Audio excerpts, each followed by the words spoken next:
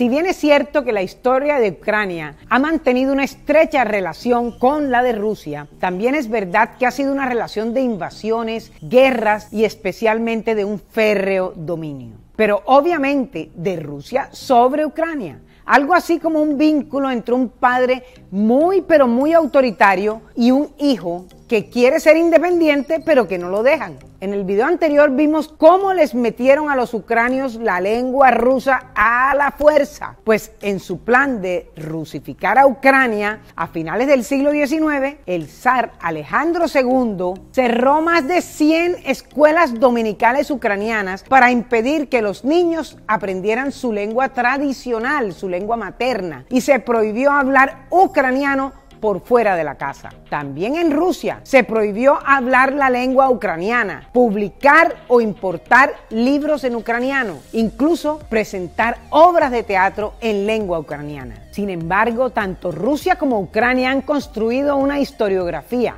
cada una por separado, en la que las dos tienen su origen en la Rus de Kiev de la Edad Media. Pero realmente Estado lo que se dice Estado como tal lo entendemos hoy, solamente existe en Ucrania a partir de 1917, o sea, hace un siglo. Desde entonces, durante el último siglo, Ucrania ha estado casi todo el tiempo bajo una severa influencia de Moscú, por lo que la independencia ha sido una farsa. Putin, por su parte, ha llegado al extremo de justificar la invasión a Ucrania argumentando que son una sola nación. ¿Qué es lo que ha querido decir? ¿Que Ucrania forma parte de la Federación Rusa o qué? Lo único cierto hasta ahora es que ambas reconocen que tienen su origen en la Rus de Kiev.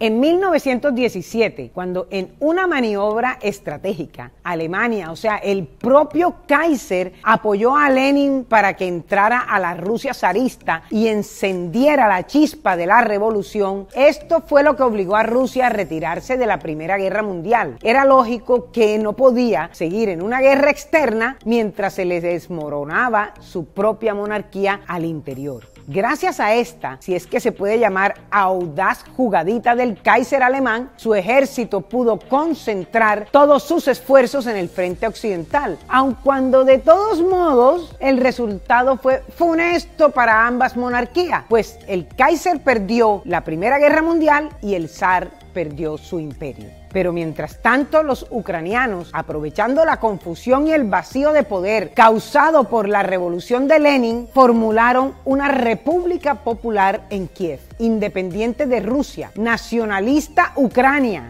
y popular, pero eso sí, inspirada en los soviets propuestos por Lenin. Pero los bolcheviques no iban a permitir una Ucrania independiente. Eso sí que no. La nueva república contó además con la hostilidad de su otro vecino, la República de Polonia, por lo que su independencia solamente duró cuatro añitos, terminando dividida. Una parte se la anexó Polonia, mientras la otra se convirtió en la República Socialista Soviética de Ucrania. Seguramente es a esto a lo que se refiere Putin cuando dice que la Ucrania moderna fue creada por Lenin. Vaya forma curiosa de armar su propia historiografía, hecha a su imagen y semejanza. A partir de entonces comenzó otra de las tantas rusificaciones de Ucrania. Entre 1932 y 1934 se dice que Stalin provocó una gran hambruna. Es un periodo conocido como Holodomor, en el que murieron de hambre, de física hambre, 4 millones de ucranianos, de una población de aproximadamente 33 millones de personas. Y se calcula que dejaron de nacer 6 millones de bebés, por lo que se estima que el daño demográfico causado por aquella terrible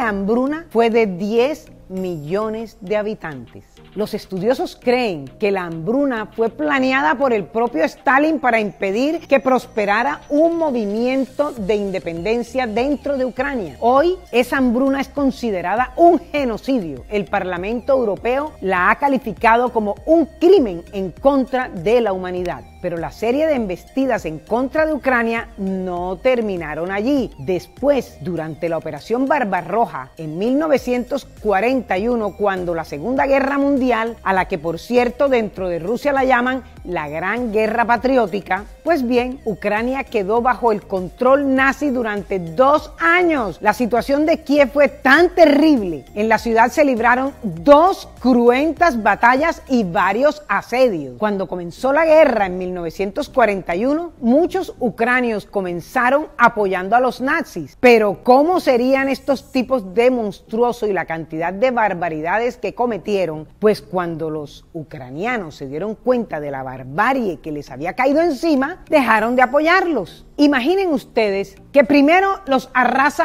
la hambruna de Stalin y después caen bajo el terror de los nazis. ¿Cuál de las dos plagas habrá sido peor para los ucranios? ¿Stalin o los nazis? Yo creo que solo quienes vivieron esos dos horrores podrían decírnoslo. Y debe haber muy, pero muy pocos sobrevivientes. Enterraban a personas que aún estaban vivas. La tierra se movía. Para que se hagan una idea de la magnitud de la tragedia, en 1938 Ucrania tenía 41 millones de habitantes. Cuando terminó la guerra en 1945 contaban solo a 27 millones de personas. El país perdió 14 millones entre asesinatos, ejecuciones y migraciones. Un corresponsal de un periódico inglés, después de visitar Ucrania en 1945, escribió escandalizado y horrorizado. Lo que algunos intentan representar como la gloria rusa, ante todo era la guerra ucraniana. Ningún país europeo sufrió tanto como Ucrania, donde quedaron destrozadas las ciudades, la industria y la agricultura. Es que la nación había quedado devastada, casi que no quedó piedra sobre piedra. Yo la imagino como la Varsovia que al final de la guerra se muestra en la película El pianista. Esa escena es literalmente dantesca. Como si esto fuera poco, hay otro dato escalofriante. Ucrania tenía 3 millones de judíos antes de la guerra y tan solo sobrevivieron 800 mil. De ellos, 140 mil salieron hacia Polonia. Y vaya a saber cuántos sobrevivieron en el holocausto polaco, que no fue menos brutal. Siempre pensé que el gran sacrificio de la Segunda Guerra Mundial había sido ruso, pero si bien ante Occidente la victoria fue de los Estados Unidos, realmente creía que la debíamos a la Unión Soviética, pero es a Ucrania a quien debemos gran parte de ese sacrificio. Veamos qué pasó en Ucrania al terminar la Segunda Guerra Mundial. Lo primero fue que la región Ucrania, que Polonia se anexó al final de la Primera Guerra Mundial, volvió a la República Socialista de Ucrania, pero cuando era parte de la Unión Soviética. Esto debe ser algo de todo lo que Putin está cobrando ahora. Después de la muerte de Stalin, ocurrida en 1953, Nikita Khrushchev asumió el mando y en 1954 entregó a Crimea que desde el final de la guerra era una provincia que dependía de la propia Unión Soviética, pero fue anexada a la República Soviética de Ucrania. Es posible que estratégicamente esto haya sido un error geopolítico del Politburo soviético, el haber fortalecido tanto a una de sus repúblicas como lo hizo con Ucrania, que de por sí era ya muy apetecida por la enorme riqueza de sus recursos naturales y encima le entregan las reservas de petróleo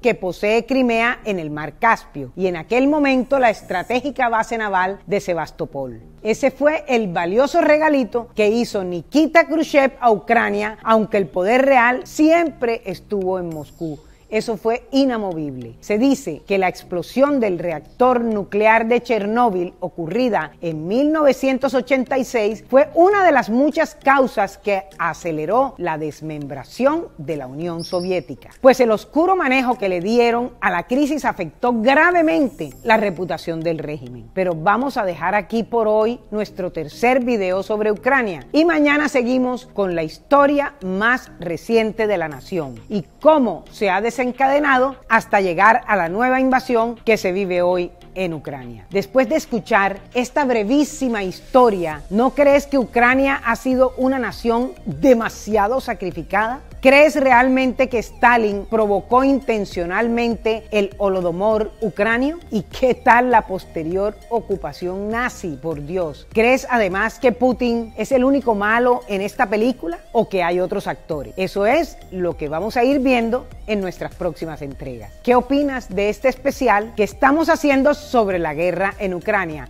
Escríbelo abajo en los comentarios. Si te ha gustado esta historia, dale like y haz clic en la campanita para que sepas cuando subimos cada nuevo video. Al final te dejo dos videos relacionados con Ucrania y si aún no te has suscrito, lo puedes hacer haciendo clic en la bolita del centro.